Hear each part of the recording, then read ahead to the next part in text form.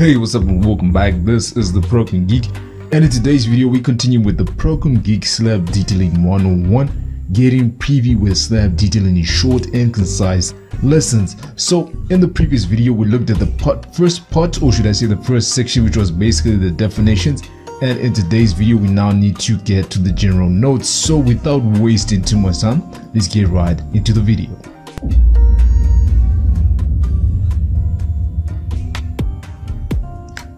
Okay, so first things first, if this is your first time coming to the channel, please click the subscribe button. Also hit the notifications bell so that you get any notification whenever I upload a video. And without wasting too much time, let's get started with the general notes. So in the previous video, yes, we were looking at the definition of slabs, whatever the, it is. We just wanted to get the basics so that you can understand what we're going to be doing.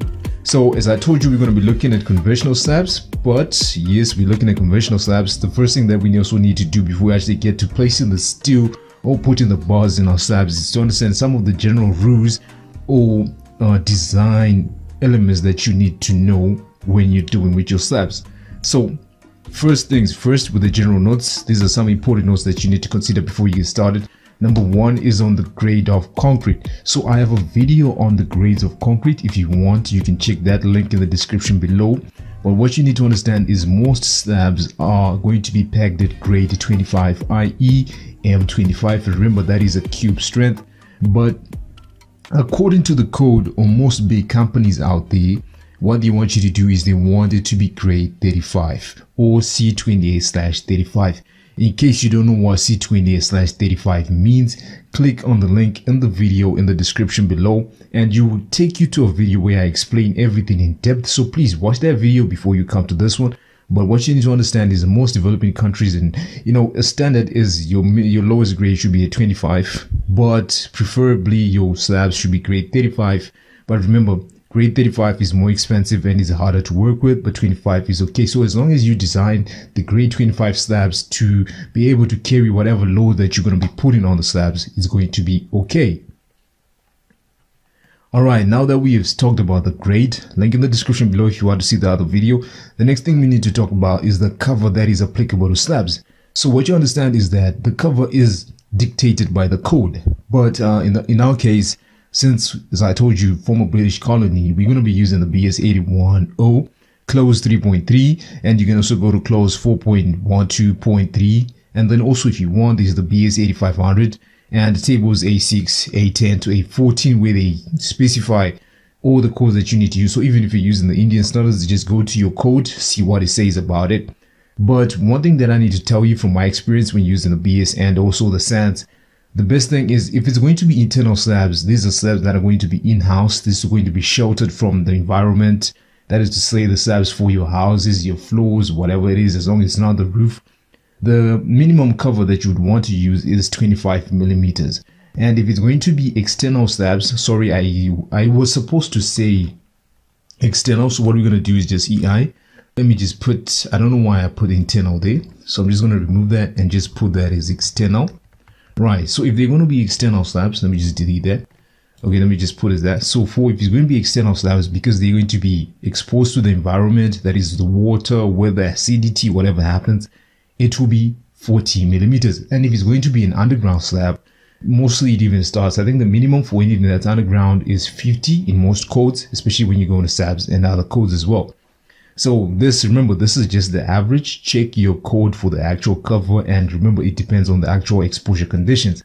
And just to illustrate, for example, this is a 150 millimeter thick slab. So when they say 25 millimeter cover, what they're just trying to say is the distance from the top or the edge of the concrete to where your bars are going to start. So remember, it's not to the center of the bar, the cover to the what they call there's a difference between cover and effective cover. So what we're just talking about we're just talking about the cover that is to the outer bar. So to the outer edge of your bar this is what is going to be called the cover. So if it's going to be effective cover it will be different. This will be to the center of your bar. So that is also different and it depends with the bar itself.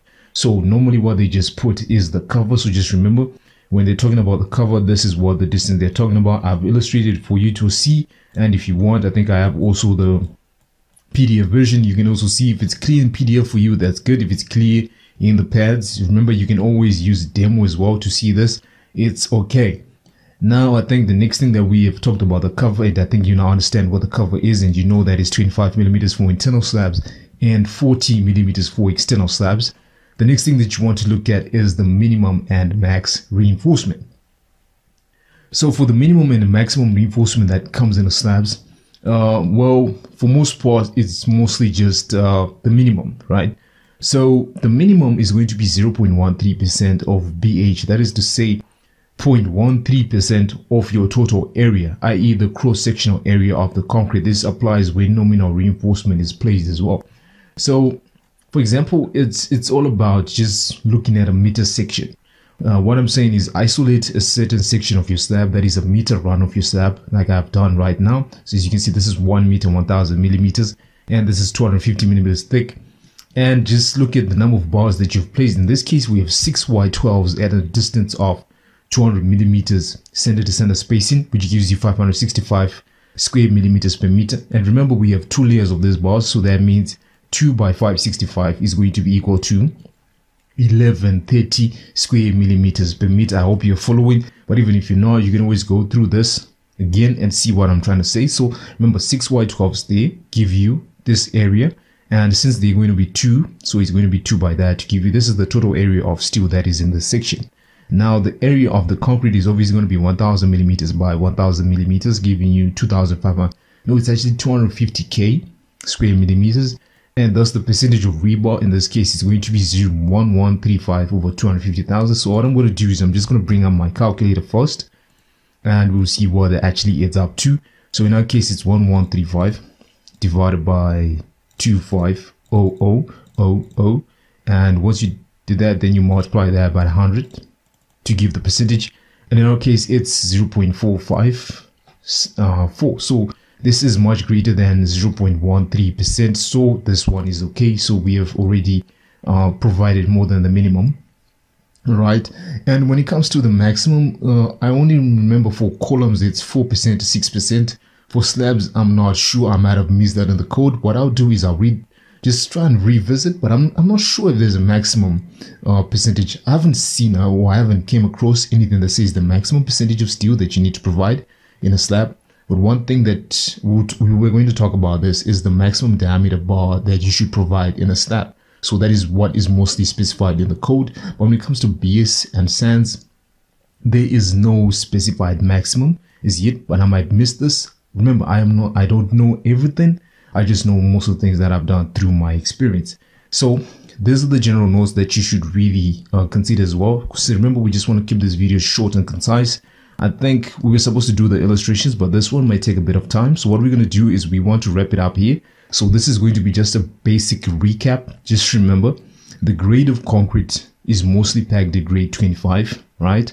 And remember, as long as you design for the laws for grade 25, it's okay but normally your slabs should be grade 35 c20 slash 35 so when you're doing commercial projects huge projects you're going to be using this grades because big projects you need strong elements and a lot of things come into play. So for example in the Burj Khalifa you're not going to be using anything that's 25 um, I mean, there were concrete parts there were steel parts so I'm just saying all the concrete elements you're not going to be using anything. Mostly you won't even be using anything less than 30 unless this is you know weak useless concrete for example blindings or areas where you don't really need that much strength. But for anything that's going to be in the integral part of the building normally grade 30 is going to be your minimum now for the cover as well remember there's a difference between effective cover and cover so in the cover that we're referring to is going to be dependent on the code but just remember 25 millimeters for internal slabs and 40 millimeters for external slabs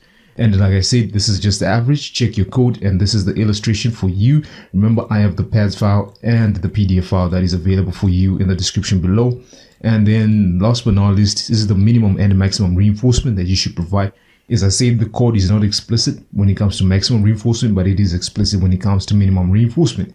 And what we did is we saw that it's 0.13%.